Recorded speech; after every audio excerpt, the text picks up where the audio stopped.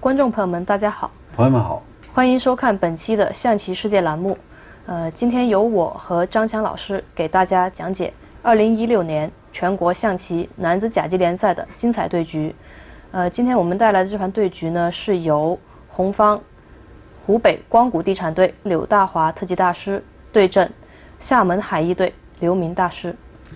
呃，这盘棋呢是在两名这个一老一小的这个对局当中这个进行的。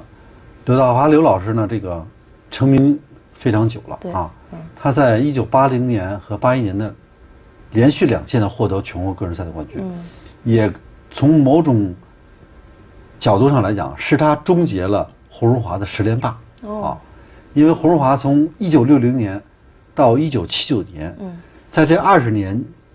间呢，正好是打了十届全国个人赛。对，胡荣华呢是十连冠。嗯，然后呢，八零年呢，这个在四川的这个乐山啊，就是有那个大佛的那个地方。哦，乐山大佛。啊，乐乐山大佛。嗯，那个地方呢，刘德华呢一举呢成为了新的这个新科状元。嗯，也就是终结了胡荣华的这种啊连霸的这种势头。对，所以说刘德华也可以说是一个传奇性的人物。对，好。我们还是一边摆棋一边再跟大家聊。好，黑方走炮二平三，卒底炮，卒底炮，红方再走当头炮，黑方象三象三进五。对，因为这个补三象呢，嗯，也是历来呢受到了大家的这个推崇啊，因为它步调比较合理。嗯，第一个它中路稳妥，嗯，它中路有一个子啊，它老将是一个保护。嗯，另外呢就是补三象呢。它配合这个足底炮啊，这个马呢，嗯，除了鞭马以外，还有拐角的去向，嗯，可以根据这个对鱼的需要，比如说将来这个卒三级、卒三级冲了，嗯，他就马二进四，马四进三，有这个或马四进六，嗯，啊，有的时候呢，根据需要还可以马二进一，嗯，所以这个马呢是比较灵活的，嗯，所以补三项呢也是得到了行家里手的这个，哈喜爱，嗯，走的最多，现在应该是最主流的。那么历来都是最第一位的，嗯，好，自从有了这个先指路，逐渐，这个双方演变以来啊，最早啊，这个先指路啊，不被大家看好啊。当时浙江呢有名老棋手，你知道是谁吧？不知道。叫刘仙人，啊，哦，刘义慈，哦，这是浙江队的这个老的这个选手啊。当时可能还没有成立浙江队呢，就是浙江的老一代棋手吧，他就特别喜欢走先指路，嗯，所以人送雅号。刘刘仙人，但是那个时候呢，大家还没有认识到仙指路这种高妙、嗯，精深的地方，所以那个时候没没有成为主流，嗯。啊，甚至连杨国林、胡荣华他们都很少走。啊。你看你们那个严老师，这杨老前辈，按说你们更是有一些了解。你看他的棋谱几乎没有仙指路，他都是炮马争雄，对他都是当头炮最多，嗯，当头炮、巡河炮，对，那个是是老谱最多，对。但是到了现代的这个棋手呢，仙人指路呢，啊，你现在看那个高手，没有哪个高手不走先指路，对，都或多或少走。嗯，你像吕钦老师走的是最少的。嗯，啊，他可能还是受那个时代的影响更多。嗯，因为吕老师可以说他最主要是八十年代就成名，他八九十年代就是很厉害的选手。但是他先指路，呃，后来走的也不少啊，但是他早期走的很少。对。那么就说先指路呢，呃，他最主要是比较灵活机动。嗯。另外呢，它可以根据需要呢，走从中炮，走回中炮，或者形成式象棋。它是借鉴于这个啊，这个进攻和防御当中呢，啊，就是这种阵型两种可能，就是它很灵活。它既可以走成式象棋，也可以走成这种中炮阵型。反正也是他的选择。对，然后黑方呢，接下来走呢，现在红该红方走，红方走十六进五，就是这个里边变化特别丰富。嗯，先不是，那我要问你，考你一个小问题，你知道这先知是是谁先走出来的吗？还真不知道啊，就是大师级以上全国正式比赛第一个走出来的，还真不知道，真不知道啊。那你看来这个读读的书不够，回去还得多读读谱。对，回去补习。这个十六进五啊，是由这个原来浙江队的。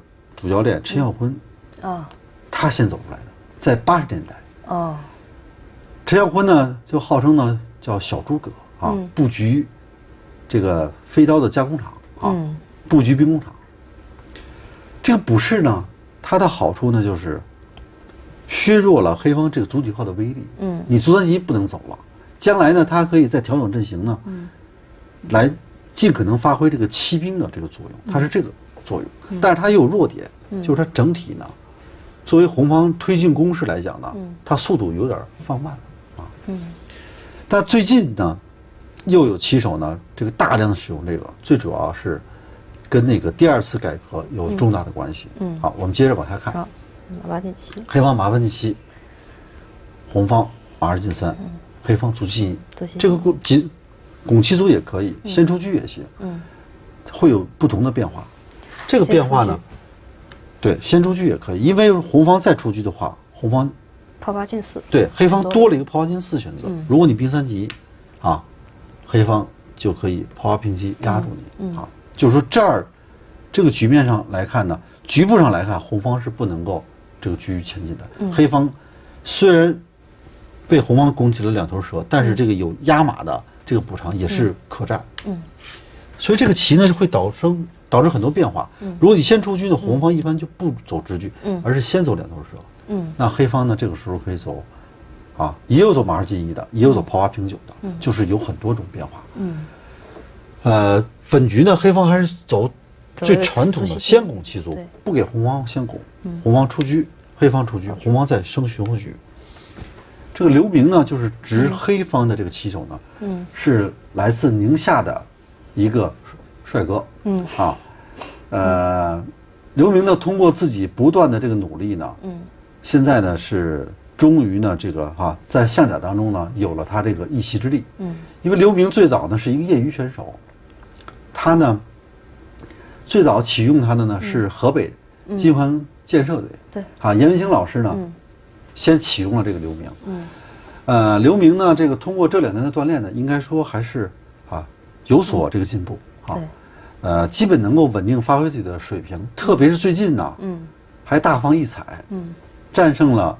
这个河北名将申鹏，嗯，啊，对，还把谁赢了？还赢了一个孙永征啊，还把这个全国冠军孙永征也干掉了，也是特别厉害的。对，所以说，这个刘明呢，也可以是作为现在的啊业余棋手出身的一个比较突出的代表吧。嗯，啊，参加象甲角角逐。那么宁宁夏历史上一共有两位象棋大师，一个是年轻的刘明，嗯，另外一个呢就是。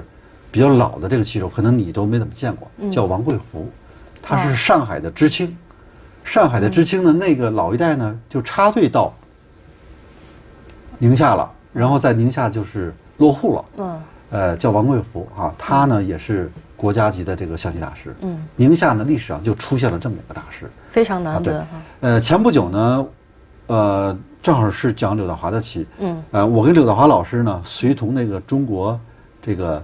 棋艺代表团，就是中国象棋协会和中国围棋协会共同组成的这个代表团呢，来到了这个宁夏，嗯，进行那个推广象棋，嗯。啊，宁夏当地呢，这个民风呢特别淳朴，嗯，而且热爱喜爱下棋的朋友也非常多。我们去了这个和平圣地，那个就是六盘山的那个所在地固原，嗯，还有这个宁夏，嗯，那个当地的就是那个省会银川啊，进行了两站这个。呃，表演赛应该说也是得到了很好的这个效果。嗯，红方走车二进四以后呢，黑方走炮八平九。对，这个自然腰对啊也是可以。此外呢，也有走马二进一的啊，也有走十四进五的。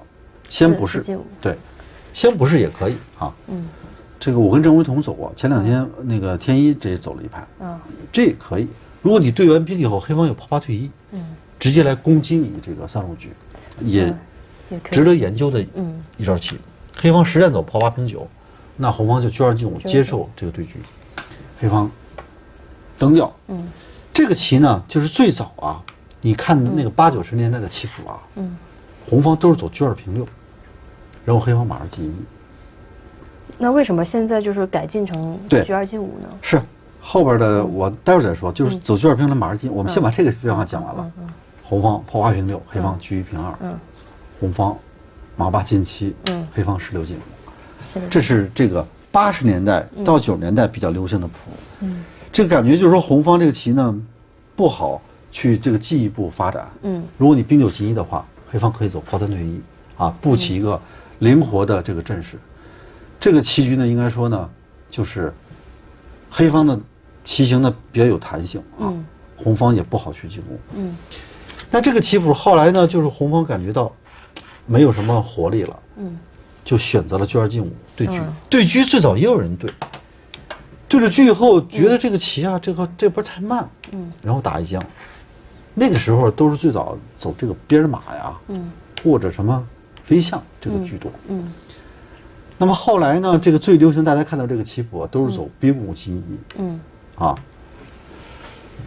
这招棋呢，最早呢是由这个现在代表四川队的这个武俊强对我在现代联赛里边走出来的。哦。就说武俊强呢，通过自己的研究呢，嗯。他对这个兵五进一呢有了一个新的认识。嗯。之后这招呢得到了众多高手的这个肯定，嗯就是很多选手都在走这个布局。啊，我自己我也走过啊，我跟郑维彤下过一盘，那会儿郑维彤还不成熟呢。嗯反正杨国林杯嘛，我就把他赢了。他当时走的马八进七啊。嗯呃，我跟郑维彤走过一次啊，那个当然郑维彤走这棋也很熟练。嗯嗯啊，郑维彤走这棋，洪志走这个棋，王天一走这个棋，蒋春走这个棋。嗯就说的高手当中啊，有很多人很乐于下虎方，而且胜率呢非常的高，哈，嗯。当然现在呢这个布局还在不断的这个双方演练、较量。嗯。这个棋的特点呢，红方就是等于是先拱起一个中兵来，嗯。对以往的这个先跳边马呀，还有先补象这些呢，是一个根本性的改变。嗯。改变在哪儿呢？就是黑方肯定要马上进四蹬它，对。红方呢他走一个炮五平六，他对着你这个马，嗯。他最主要的意图呢，就是你车一平二的时候，来走车一平二红方呢可以有一个炮八平六，打马是一个先手，嗯利用这个先手呢再去做腾挪，盘面上的红方呢多出一个中兵，这是将来红方呢，哈进一步拓展先手的一个后备力量。嗯但是说这个棋这么走，黑方行不行？也可以，黑方这么跳马，嗯，红方在马八进九，黑方碰住。这个棋如果你接受黑方这个马的位置就比较好了啊，红方可能要弃这个，嗯黑方再是过来，这儿等于双方呢，黑方过一三卒，红方呢有一个中兵，嗯。也可以说的互有顾忌啊，双方对抢先手，嗯。这是黑方的这种做法。实战当中呢，黑方也马上就是去灯炮了，嗯。红方炮五平了以后呢，黑方选择的是马四进二。下一步准备刘明呢，这个前面这个几轮棋啊，嗯。下的并不是很理想，嗯。但是他呢，这个棋手呢，这个逐步呢调整这个状态呀。嗯。刚才我们说了，这个又赢这个申鹏啊、孙永征，这是最近这个几轮表现比较好。嗯。呃，可能很多朋友不知道他这个深层次的嗯。原因，因为我前两天正好去了这个宁夏呀，嗯嗯。他这生活上呢，啊有了一些变化。嗯。他是新婚燕尔，哦。所以说呢，这个人逢喜事儿精神爽。嗯那么最近一段啊，就表现的比较好啊。嗯呃，当然这盘棋呢，刘明发挥的呢并不太好。嗯走到这儿呢，红方是走的马八进七，因为前日子象棋进五走的比较多了，他走马八进七啊。刘老师这这个棋应该也是有备而来对，好，那么这棋到底后边的变化如何呢？我们稍后呢再向大家呢继续讲解。嗯。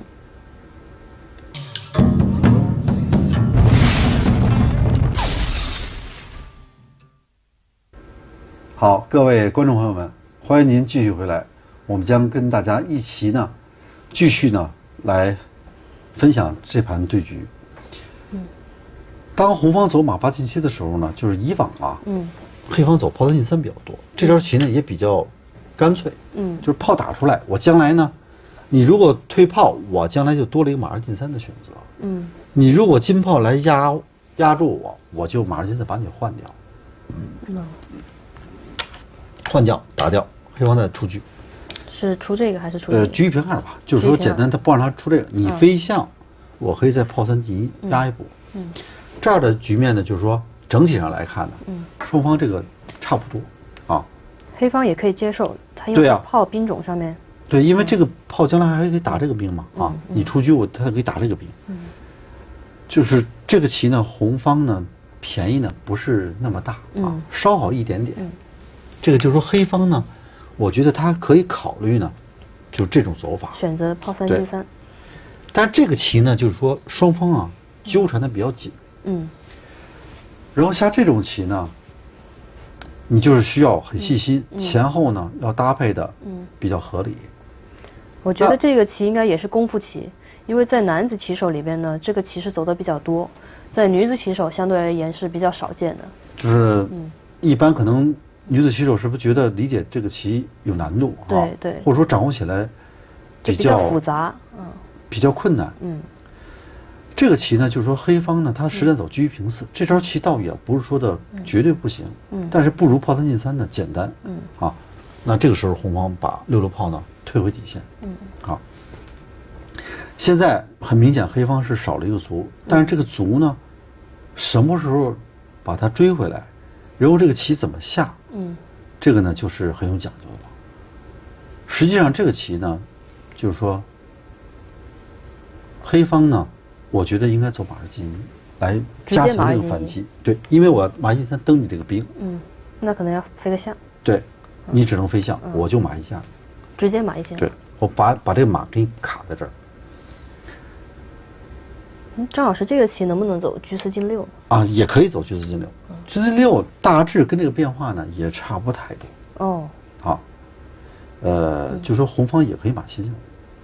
你马一三，他再跑八平六吧，他他将来七个士，嗯，七个士他兵快，啊，当然你你马七进五，你也不见得马一三，马一三跑平六，你只能登将他支掉你，你吃掉，然后他将来这个重兵能拱过去，嗯，好，他动作快，嗯，就是黑方也可以马一进二，嗯，然后红方再拱重兵，黑方再跳马，嗯，形成这么一个棋，这么一个棋呢，就是说黑方这个车马呀，嗯，对红方左翼呢还是有压力的，红方暂时呢这个边发不了力，嗯，就说你出车。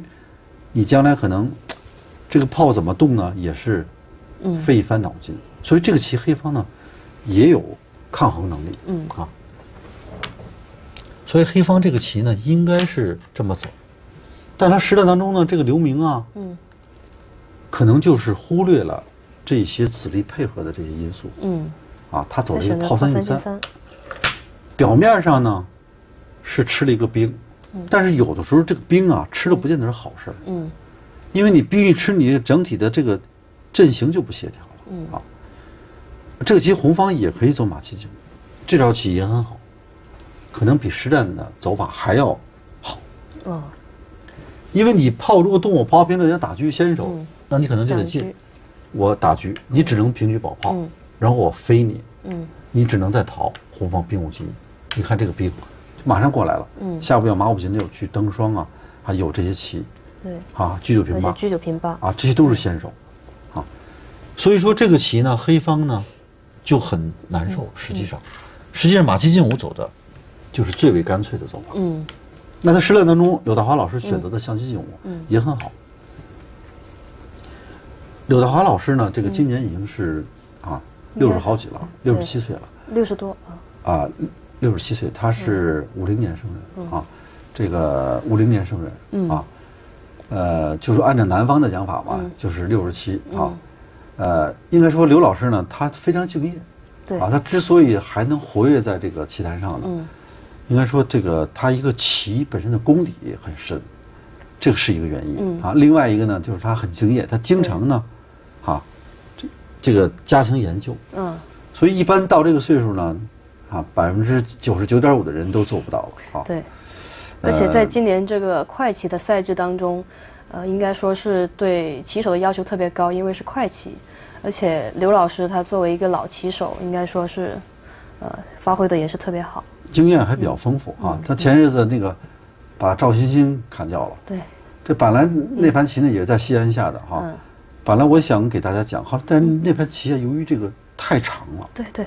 而且里边的战术太多了。嗯，如果你要讲的太省略的话呢，嗯，可能很多精彩的内容呢不能去说啊。嗯，说不出来的话会有些遗憾。嗯，那红方象棋进攻也是可以的。嗯，黑方炮三进一，红方接下来出车。啊，啊，黑方接下来走车车四进六，四进六，红方接下来走兵五进一啊，他这个中兵就渡河了。嗯。呃，这次的比赛呢，就是前五轮的比赛是在这个西安进行的啊。这个第一站比赛得到了这个西安世博园的这个独家冠名赞助啊，在此也代表棋手们向这个呃陕西省这个方方面面啊，为这个象甲做出这个辛勤努力和这个啊赞助支持的朋友们啊表示感谢。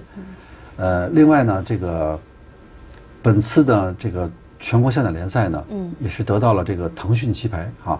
对，这个天天象棋的这个独家冠名赞助啊，它是总冠名。嗯，呃，特别是天天象棋呢，有这个 A P P 呢可以下载，也欢迎大家呢这个用您的手机或者用 iPad，直接呢这个去下载一个下载那个 A P P，然后直接在手机上面呃就可以观看我们的比赛。而且呢，在直播的同时呢，我们会有直播的那个讲解的人员，让你让您的那个观赛体验能更好。对，就是说的现场直播、现场讲解，啊，双管齐下，希望能够得到我们众多棋友的这个喜欢。可能大家很多这个消息有时候还不是特别熟悉，如果那个呃听到我们棋艺以后呢，这个就可以呃下载这个 APP。另外呢，就是即便您错过了比赛也没关系，还可以重播啊，可以。重播。里面都棋谱全部都有，呃，就是在那个天天象棋那个对战栏目里边有二零一六象甲啊，到那里边就可以仔细观看我们这个具体的比赛的情况了。对，好，我们接着来看这个棋，红方兵五进一冲过去以后呢，黑方这个棋呢走了一个卒三进一，对这招棋呢应该说不太好。啊，这招棋给自己呢又是束缚了哈。索性这个棋就不如这个炮三平九，就强行打兵算了。红方这个棋呢，他可能炮八平九，感觉要炮八平九你比方这，然后黑方走这个平车压马，红方感觉要跳跳马。啊，然后黑方再来对车。哦，就这个棋呢，肯定是红方略优。嗯，但是黑方呢可以延缓整个红方的进攻的速度啊。